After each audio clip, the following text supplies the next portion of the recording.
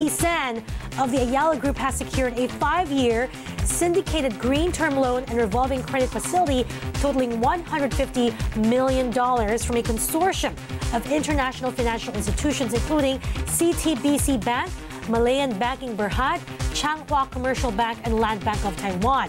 Proceeds will support ACEN's fast-growing presence in APAC the company has about 4.8 gigawatts of attributable renewables capacity in operation and under construction, as well as signed agreements and won competitive tenders worth over 1 gigawatts. ACEN has already effectively surpassed its original goal of reaching 5 gigawatts of renewables by 2025 and is now on track to hit its goal of 20 gigawatts by the year 2030. And there you have it, the PSA reporting inflation print for the month of June coming in coming in lower than expected. It actually slowed to 3.7% in June from 3.9% in May and 5.4% in June 2023. This brings January to June average at 3.5%. This is, of course, within government's target range of 2 to 4%. Now, if you strip out the volatile fuel and food prices, core inflation was steady at 3.1% uh, versus May's 3.1, but much slower than June 2023's 7.4%.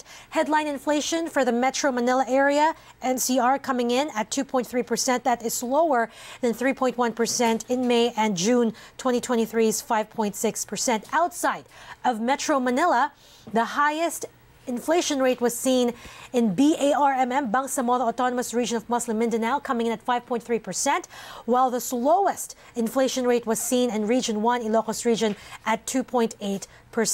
Now, very quickly, the main reasons for the slowing of inflation for the month of June are three groups. You've got slower increase in the prices of housing, water, electricity, coming in at just 0.1% inflation versus a 0.9% inflation the month before. Transport also saw slower inflation at 3.1 versus 3.5. Restaurants and accommodation also seeing a much slower 5.1% inflation versus 5.3. Now, looking at the 13 commodity groups, five actually saw steady inflation for the month of June. Health at 2.9, information communications at 0.5, recreation, sports and culture at 3.5, education at 3.8, and financial services at negative 0.6%. Seven out of the 13 commodity groups saw faster inflation, rather slower inflation at um, you started with alcohol, beverage, and tobacco, um, slower at 3.8%. Clothing and footwear also slower at 3.2.